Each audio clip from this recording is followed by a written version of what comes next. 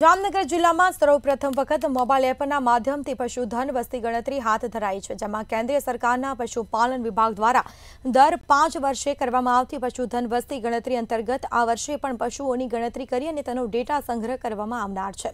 પશુધન વસ્તી ગણતરી માટે કેન્દ્ર સરકાર દ્વારા સમગ્ર ભારત દેશના ચાર રાજ્યોમાં પાયલોટ સર્વેનું આયોજન કરાયું હતું અને જે અંતર્ગત ગુજરાત રાજ્યમાં એકમાત્ર જામનગર જિલ્લાની પસંદગી થઈ.